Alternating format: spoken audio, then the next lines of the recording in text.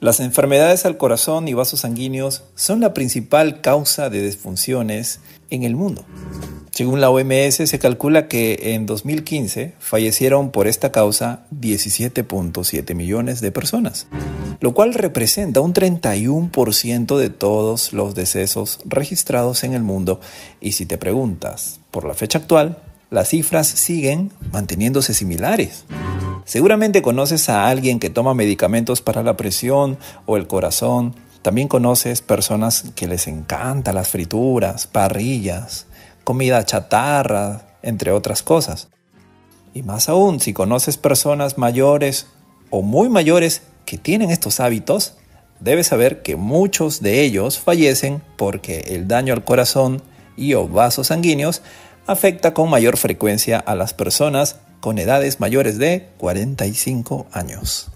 Soy el doctor Ángelo, tu médico de familia, y el día de hoy, en esta ponencia, conocerás los tres alimentos más perjudiciales y benéficos para el corazón. Te cuento, a veces me llegan casos, aunque raros, de personas con dolor en el pecho o que se agitan. Y bueno, te sorprenderás al saber que nos topamos al día a día con varios alimentos nocivos Hoy además aprenderás herramientas esenciales para tomar decisiones informadas, las cuales te permitirán evitar infartos, derrames y saber cómo mejorar tu sistema cardiovascular. Empecemos con los alimentos que dañan tremendamente a tus células del corazón y vasos sanguíneos. Al día de hoy los alimentos más dañinos son los que provienen de tres fuentes. Grasas trans, carnes procesadas y rojas y por último, los alimentos y bebidas azucaradas. 1. Grasas trans. En este momento sabrás cuál es el peor alimento para tu salud. Quiero que observes esta tabla. Puedes observar que el alimento más dañino es el producto horneado, es decir, los pasteles y galletas. Doctor, ¿sabe? Los productos que yo uso para hacer pasteles, en el empaque dice que no contienen grasas trans. Eso es correcto.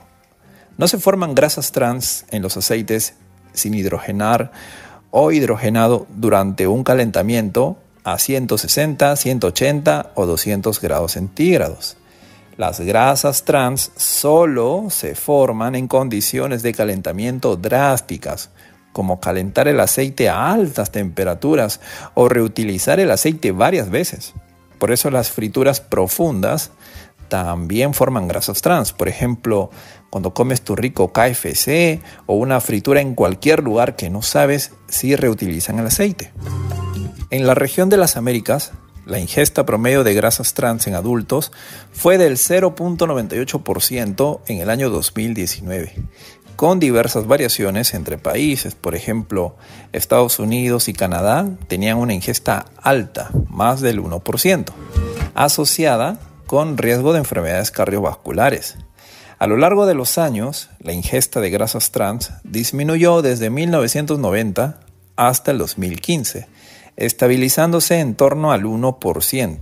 Sin embargo, se proyecta un ligero aumento en la próxima década, especialmente en América del Norte, alcanzando casi el 1.3% para el año 2030. Doctor, ¿qué son las grasas trans? Si hablamos de las grasas trans, estas se producen cuando se necesitan grasas de consistencia sólida. Para conseguir la solidez se realiza la hidrogenación parcial, la cual es un proceso que puede generar grasas trans. Existen muchas políticas de regularización. En la siguiente imagen del 2023 puedes observar el mapa de varios países y continentes en diversos colores. De estos, solo los que están de color azul oscuro han puesto políticas para la eliminación total de las grasas trans de sus alimentos. El resto o los han limitado como en los colores violeta y verde o siguen empleando porcentajes no saludables. Tal es el caso que la Organización Panamericana de la Salud, en su comunicado de enero del 2023, reporta que existe 5 mil millones de personas desprotegidas contra las grasas trans, lo que podría conllevar a enfermedades cardíacas. Incluso hace hincapié en lo siguiente. Actualmente, 9 de los 16 países con la proporción estimada más alta de muertes por enfermedad coronaria causadas, escuchen bien, causadas por la ingesta de grasas trans, no tienen una política de mejores prácticas. Estos son Australia, Azerbaiyán, Bután, Ecuador, Egipto y así la lista sigue. Ahora quiero que observes esta imagen y te preguntes, ¿estará bien comer este tipo de alimentos? De por sí estos alimentos en altas proporciones hacen daño y encima hay posibilidades de que posean grasas trans.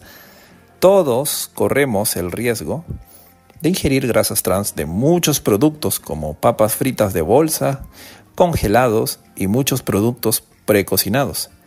Y así como este osito, hay muchos otros productos que contienen grasas trans. Número 2. Carnes rojas procesadas. La Agencia Internacional para la Investigación del Cáncer, que es parte de la Organización Mundial de la Salud, clasifica la carne procesada como un carcinógeno de grupo 1, lo que significa que hay evidencia suficiente para afirmar que puede causar cáncer en los humanos, específicamente el cáncer de colon y recto. La carne procesada más común en el mundo varía según las regiones y las preferencias culturales, pero el producto más popular a nivel global son las salchichas, las cuales pueden hacerse de carne de res, cerdo, pollo o una combinación de ellas. Por otro lado, la carne de res de ganado vacuno es una de las carnes rojas más consumidas en el mundo. Hagamos una pregunta. Doctor, ¿qué pasa si como un kilogramo de carne roja todos los días? ¿O qué pasa si como salchichas todos los días? ¿Cuál hace más daño? Personalmente les digo que el daño depende de la cantidad que se ingiere al día además de la temperatura a la que se cocinan estos alimentos. Veamos este estudio, el cual se realizó durante un seguimiento de 9.5 años. Se registraron 7.789 muertes y 6.976 ataques cardiovasculares, donde se encontró que el consumo elevado de carne roja no procesada, es decir, un bife, un lomo, un cerdito, equivalente a mayor o igual de 250 gramos por semana, versus gente que consumió menos de 50 gramos por semana, o sea, se compararon entre estos dos grupos, no se asoció significativamente con la mortalidad total ni con daños cardiovasculares mayores. Asimismo, y de manera similar, no se observó ninguna asociación entre el consumo de aves de corral y los resultados de salud. Por otro lado, un mayor consumo de carne procesada, ojo, procesada, como el jamón, hot dog, pepperoni, mayor o igual a 150 gramos por semana, versus gente que no consumía, o sea, 0 gramos por semana, se asoció con un mayor riesgo de mortalidad total y eventos cardiovasculares mayores. Este estudio concluye que no existe escuchen bien, relación entre el consumo de carne roja no procesada y aves de corral en cuanto a mortalidad o ataques cardiovasculares mayores. Por el contrario, un mayor consumo de carne procesada sí se asoció con un mayor riesgo de mortalidad y ataques cardiovasculares mayores. Por mi parte, les diría que si comen carne roja una vez a la semana y máximo 300 gramos, no pasa nada, pero si comen todos los días más de 100 a 120 gramos, sí aumenta la posibilidad de tener cáncer de colon, pulmón, entre otros. Por otro lado, las carnes procesadas como salchichas, jamón, podrían ser máximo 50 gramos a la semana, que a veces viene en una pizza o unos bocaditos. Si las cantidades son mayores, no les sugiero comer carnes procesadas, ya que son recontra cancerígenos. 3. Alimentos y bebidas azucaradas. Una de las bebidas azucaradas que a menudo se destaca por su alto contenido de azúcares y su asociación con problemas de salud al corazón es la soda o refresco carbonatado, también conocido como gaseosa. ¿Y cuál es la más consumida a nivel mundial? La Coca-Cola. Doctor, pero yo no tomo Coca-Cola. Ok, pero si estás tomando gaseosa, igual estás mal. Recuerda que las afecciones por ingerir esta bebida producen obesidad, diabetes, aumento de triglicéridos, elevación de la presión arterial entre otros importantes como la inflamación y daños de los vasos sanguíneos, llegando a ataques cardiovasculares y eventos cerebrovasculares.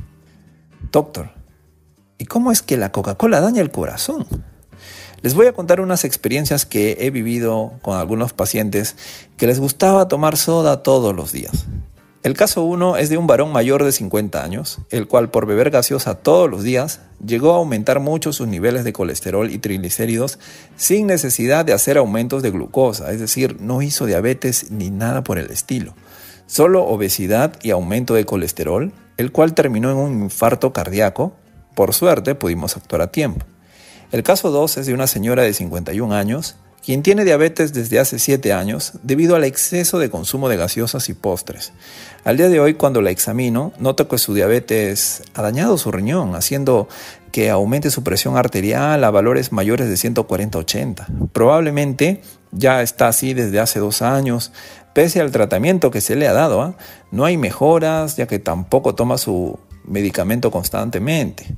La semana pasada le escuché un soplo en su corazón, algo que no tenía hace seis meses. Entonces, el exceso de azúcar o te daña a corto plazo aumentándote el colesterol y produciéndote un infarto, o te daña a largo plazo produciéndote insuficiencia cardíaca. La recomendación es limitarla a un vaso o evitarla. Ahora que sabes que los pasteles, carnes procesadas y las gaseosas son los tres alimentos más perjudiciales para tu corazón, veamos tres alimentos buenos brevemente. Alimentos buenos. 1. Pescado. Por ejemplo, salmón, caballa, sardinas. Los beneficios son que es rico en ácidos grasos omega 3 asociados con la reducción de la inflamación, además que mejora los niveles de colesterol y tiene un menor riesgo de enfermedad cardíaca. Número 2. Bayas. Ejemplos, arándanos, fresas, frambuesas. Sus beneficios son eh, la abundancia en antioxidantes, vitaminas y fibra. Las bayas pueden contribuir a la disminución de la presión arterial, la reducción de la inflamación y la mejora general de la salud cardíaca. Número 3. Avena y cereales integrales. Ejemplo, avena, quinoa, arroz integral. Son altos en fibra soluble que puede ayudar a reducir los niveles de colesterol. Los cereales integrales también ofrecen nutrientes esenciales y pueden contribuir a la salud del corazón en general.